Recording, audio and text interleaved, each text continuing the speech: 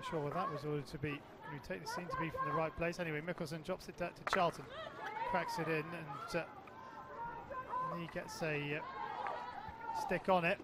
Chance, saved by Hinch. Merry brings it down though. Merry up against Quek. Merry still going, and uh, free hits for Great Britain.